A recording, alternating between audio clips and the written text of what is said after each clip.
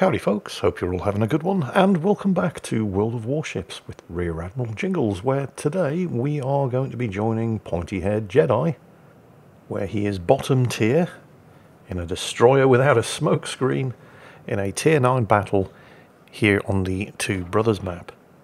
He is sailing, and I think this is the first time I've actually seen this ship, the Tribal class destroyer HMCS Huron. The Tribal class were a very successful series of destroyers built by the Royal Navy for the Royal Navy, Royal Canadian and Royal Australian Navies during World War II.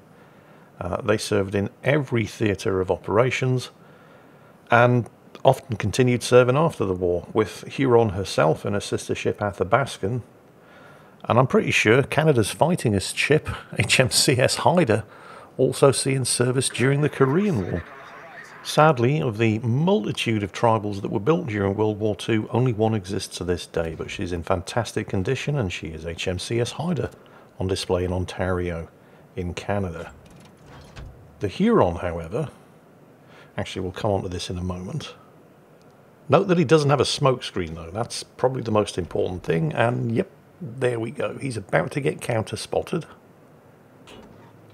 while waiting for the rest of his team to start doing something about the enemy. Just there it is, the enemy destroyer who is contesting the cap circle with him. Huron doesn't get smoke, but it does have very good stealth. I mean, it's not amazing stealth. Sub 6 kilometer stealth would be amazing, but 6.2 is pretty good for tier 7. You have to ask yourself, though, and this was a question I was asking myself, because information on this ship is actually kind of limited and hard to come by. Uh, it doesn't have a World of Warships wiki page, for example, and I don't have one myself. But I was thinking, well, if we have HMCS Haida at tier 7, and Haida's amazing, why do we need the Huron at tier 7? Because they're both the same class of ship. And the difference appears to be Huron does not get the Haida's amazing crawling smokescreen. Doesn't get a smoke screen at all. But it does get a heal.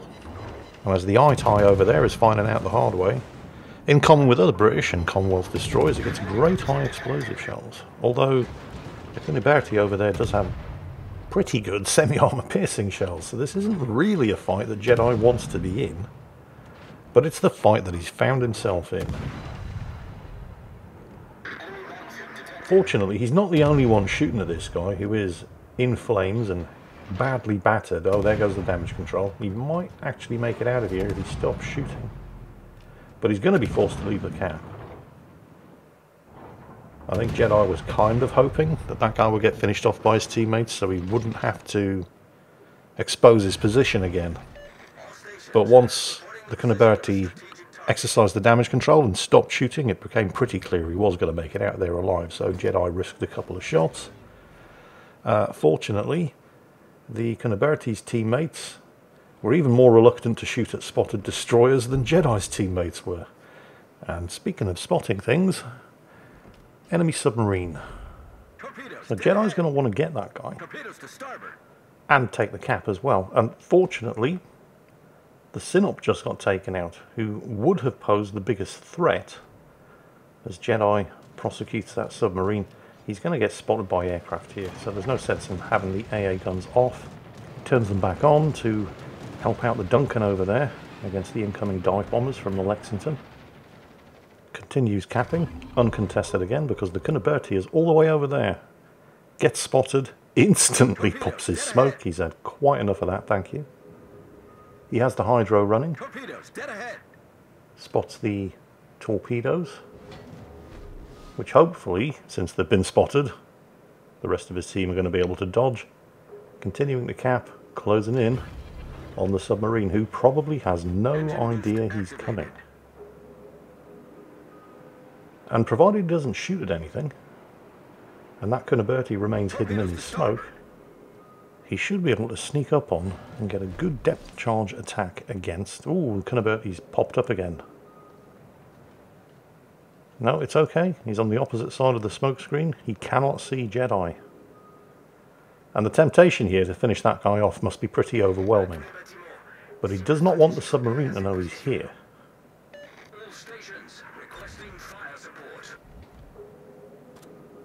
There he is. Hydro's got him. Right. There may be an opportunity for a double strike here. He's going to want to get the depth charges away first, though. Although he is about to get to within 6.2 kilometres of that Cuniberti, so he will be spotted and have to start shooting before he can get the depth charges away. The submarine knows he's here. Way too late for him to do anything about it. That submarine captain's life is probably flashing before his eyes right now. Depth charge attack away. Shots out at the Cuniberti. Misses. Doesn't get the kill, but the Cuniberti is down. The submarine is down. Takes a couple of big old hits there from the enemy ships clustered around their cap circle at Charlie. The only cap circle that the enemy team hold, by the way. Uh, but he's got the engine boost running. And he's getting the hell out of there fast. Should be able to go undetected any second now. There it is. Still has nearly 13,000 health. Still has two heals left, although he hasn't taken enough repairable damage just yet to justify using it. So things are looking pretty good. I mean, the team have lost three ships, but the enemy team have lost four, and Jedi's team have three of the four cap circles and a commanding, soon to be 200 point lead. Not having that amazing crawling smoke that the Haida gets is a bit of a limiting factor, I suppose, in the Huron. Although he does have a heal, although a well played Haida, using its hydro and its crawling smoke, should rarely actually need to use a heal. Although, I don't know. I mean, don't get me wrong, I love the Haida. The Haida's an amazing ship, and the combination of a long duration hydro and that creeping smokescreen is very, very useful. But in a high tier battle like this, I mean, it's tier 9. There's a carrier that can spot you from the air. There was a submarine that could outspot you if it was being played properly. And there's usually a lot of radar around. And the crawling smoke, definitely a very powerful and useful tool. But I think I think the Haida's crawling smoke is probably more useful when the Haida's top tier in a tier 7 battle. And Juzi appears to agree with me. Thank you for the input there, Juju. Um, but in these circumstances, when you're bottom tier in a tier 9 battle, that's right, Juzi. My, she is chatty today, but I agree that the heal is probably going to be more beneficial. I think in a high tier battle, I'd rather have the Huron than the Haida. I know, I know. What heresy is this that you speak? Choosing anything over the Haida if the Haida was available. The Haida is a great ship, but I do think that under these kind of circumstances, the Huron is probably just that little bit better. Well, better? No. More flexible. More useful. I mean, you've got nothing to complain about Canada. They're both great ships. And in a Tier 7 battle, maybe even in a Tier 8 battle, I'd rather have the Haida. But Jedi is not in a tier 7, maybe even a tier 8 battle. And I think that heal is definitely going to be more useful. It's around about now where things suddenly start to go all Pete Tong for Jedi's team.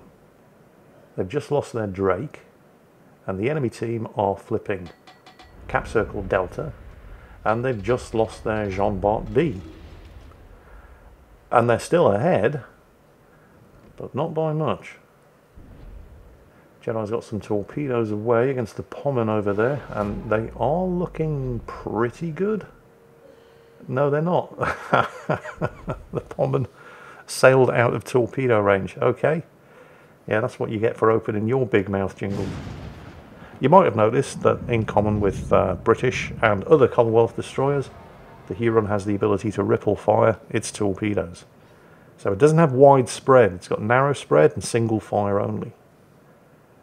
Unfortunately, the torpedo launchers don't start reloading until you've fired all four of the torpedoes.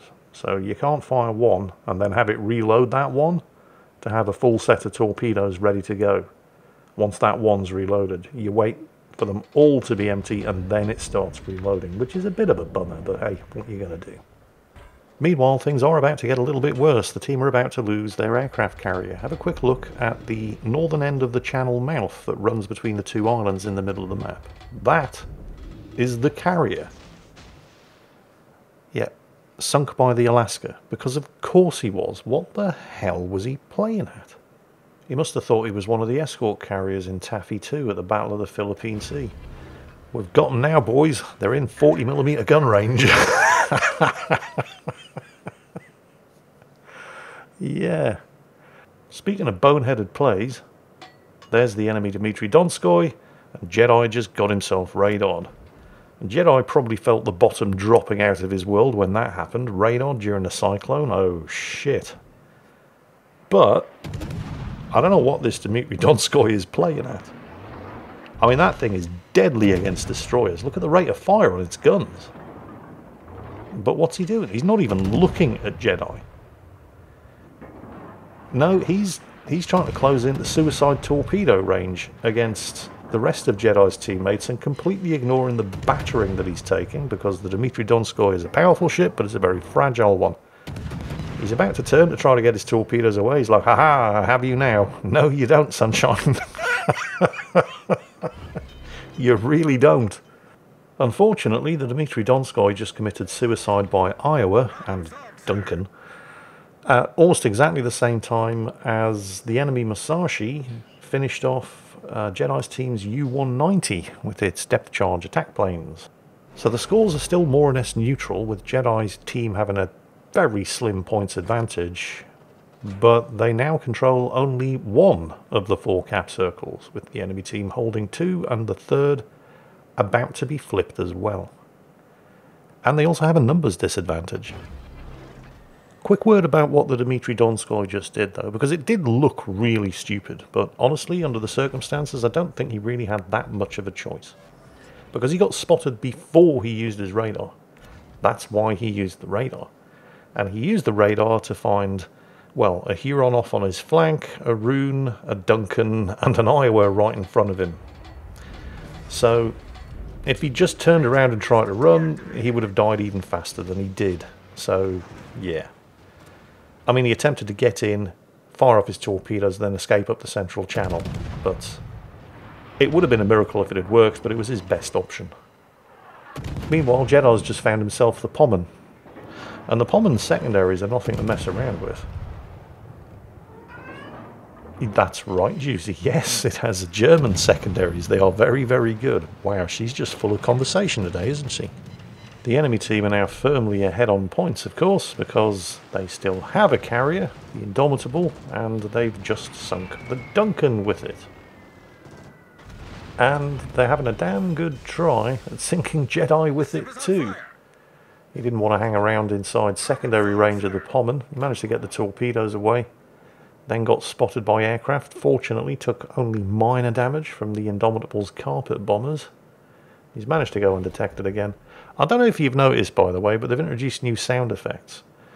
So if you listen, and I've got the background volume up loud enough, you can hear that when there's a cyclone on, it actually sounds like there's a cyclone on, instead of just a mildly rainy and overcast day. Anyway, enemy team are now well over 100 points ahead, and they're continuing to push those cap circles, with the only cap in Jedi's team's possession now being the one that the enemy team started off with. And the Jedi only has three surviving teammates. And I'm reasonably sure that the enemy team know where the Rune and at least the Iowa are, because the Pommern and the Donskoy were just spotting them, and somebody flipped that cap at Charlie. So they're coming in from three different directions. Down the channel, in between the two islands. The Pommern is over in that direction, possibly also the Musashi, and they're swinging around from the west as well. This is not looking good, and it's getting worse with every passing second. Okay, the Cyclone is now passing. Spotting range is slowly increasing. The There's the Pommern again putting shots out against the Iowa, trying to slap his broadside as he comes around the corner of the island and turns north. There's the Musashi. What was the team doing? Well, they're all splitting up. Have a look at the minimap. The Rune has turned back to engage the Alaska. And, well, he's managed to get the Cossack, but have a look at what's just a couple of kilometres to the north of him. He's basically engaging in his own little suicide mission. Although it is going pretty well, he's managed to take out the Alaska as well. And rather than do what the Donskoy did and charge headlong into all of those enemy ships up to the north of Cap Circle Alpha, he's turning around and attempting to disengage. But the fact that the Cyclone is lifting is not going to help him. We can't see his health bar from here, but we can see the health bars of the Pommern and the Sovetsky Soyuz that he's kiting away from while peppering with long-range high explosive fire and zigzagging like his life depends on it because it kind of does. And that rune, as Jedi attempts to set a sneaky fire before popping into cover behind the island here, that rune is actually playing the, well, maybe not the game of his life, but certainly the last three minutes of his life. And he's managed to take the Pommern out as well. what an absolute rock star that guy is. Meanwhile, Jedi and the Iowa, they've gotten rid of the Pommern on this flank, but that just leaves the Indomitable and the Musashi. And those shots whizzing across the bottom of the screen, that's the Musashi. With its 18.1 inch guns, smacking the crap out of the Iowa. And it's here where the Iowa makes a pretty bad decision. I mean, Jedi's probably not complaining because the Iowa is focusing on the Indomitable as well. Unfortunately, the rune went down, the Sovetsky Soyuz finally finished him off. I suppose that was fairly inevitable. Look at the broadside that the Iowa is giving to the Musashi, while also taking the majority of the attention uh, from the Indomitable. Now, the Iowa gets a bit of relief here as he slips in behind the island over there on the left, shielding him momentarily from fire from the Musashi, who has managed to go undetected, as has Jedi. Uh, the Terrible is busy, well, he's attempting to flip the cap circle over at Alpha, but with the Sovetsky Soyuz about to nose into that cap circle, uh, he's probably going to have to make a run for it. He's on very, very low health. He's attempting to torpedo the Sovetsky Soyuz, of course, so you never know. Fingers crossed he might get lucky. Meanwhile, Jedi and the Iowa have taken the cap circle at Delta. The Musashi has popped back up. But the Iowa is tunnel visioning on the carrier. And he's not quite given a flat broadside to the Musashi over there. But the Musashi has taken advantage of it. Oh, the Terribles managed to get the Sovetsky Soyuz. Fantastic. Both teams now have two caps. You can see the Iowa's return shots against the Musashi there. Who is, to be fair, given a nice big broadside to the Iowa as well, and the Iowa's 16-inch super heavy armor-piercing shells are nothing to be sniffed at, but he's not using his armor-piercing shells. He's firing high explosive. And it's already too late for the Iowa, because instead of angling against the Musashi and sailing west to flip the cap circle at Bravo there and maybe survive, he's guaranteeing that he's going to die by continuing to give broadside to the Musashi's 18.1 inch armor piercing shells. And it looks like he's now tunnel visioning. Oh, wow. Oh, actually, those torpedoes are looking pretty good. Amazingly, the Iowa is still alive. Poor shooting from the Musashi, who's about to eat a bunch of torpedoes. Nice hits. Not enough to save the Iowa, however. I think maybe the Iowa thought he could get this island between him and the Musashi's guns. But in order to do that, he had to show broadside to the Musashi for at least a minute and a half. When sailing away to the west and flipping that cap circle at Bravo would have allowed him to tank to a degree at least, the Musashi's 18.1 inch shells. And, well, yeah, it didn't work. He's dead. Because of course he is. Bunch of poor decisions from the Iowa there. Mostly sailing broadside to a Musashi in order to try to get a kill on a carrier that he could have continued to shoot at by angling away from the Musashi. If the Iowa had made the right choice there, he could have been the Eagle, but he ended up being the Turkey. Oh well, never mind. Two on two. Now Jedi has the island between himself and the Musashi, and the Terrible is too far away to help him directly, so Jedi is, of course, getting the full attention of the Indomitable's dive bombers, but I think it's fairly safe to say the Indomitable is probably panicking a little here. I mean, you would, wouldn't you? And there's the torpedo. Come on, finish him off.